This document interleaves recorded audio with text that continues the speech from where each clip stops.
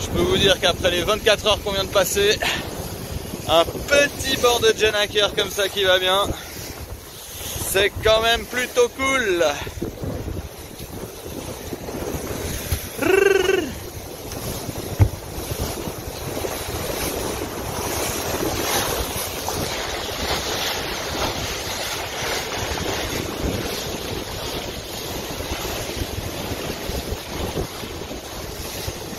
Le sémaphore de Saint-Mathieu